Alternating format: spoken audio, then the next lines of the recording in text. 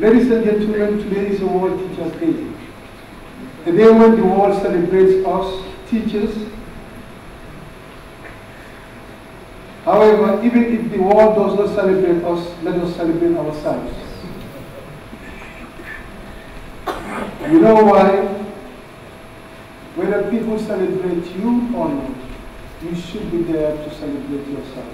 October 5th marks World Teachers Day, a day set aside to celebrate teachers who are tirelessly shaping future leaders through education. It is not just a day to celebrate their transformative impact, but also an opportunity to reflect on the essential support teachers need for effective deployment of their talents and to chart a global path forward in education. This year's World Teachers theme is the teachers we need for the education we want. However, the Gambia Teachers Union has added a domestic touch urging the establishment of an Education Service Commission with the added phrase, establish an Education Service Commission now, to highlight the crucial need for such a commission.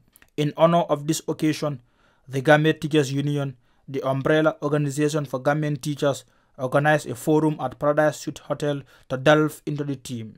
The president of the Gambia Teachers Union, Ismaila Sise, speaking at the event, emphasized the importance of teachers celebrating their ceaseless efforts even when the world may not fully acknowledge them on days like today. He stressed the necessity of investing in teachers, explaining that motivated educators are crucial in achieving good results in the classroom. At the top of the global agenda, giving the team the teachers we need for the education we want. The global imperative to reverse the teacher shortage the teachers we need for the education we want. In as much as we want the teachers we need and for the education we want, then something has to be done for the teachers.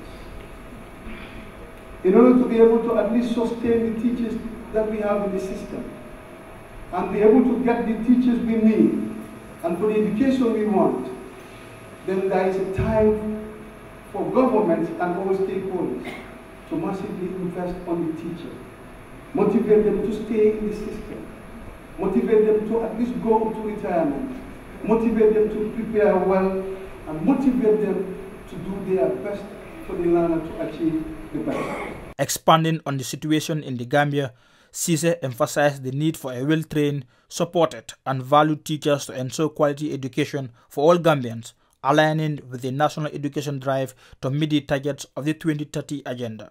Representing the permanent secretary of the Ministry of Basic and Secondary Education, Adama Jimba Job, spoke about the sacrifices and challenges in teaching, saying that that is why it is a noble profession. Chairman, teachers being at the heart of education delivery have imparted knowledge to diverse members of our society and instilled valuable life lessons that will stay with all of us forever. They have constantly encouraged us to pursue our passion and never to give up on our dreams. Teaching is challenging and requires a lot of patience and hard work and dedication, and that's what makes it a noble profession. Today, I stand before you, saying to you all, Happy Teachers Day.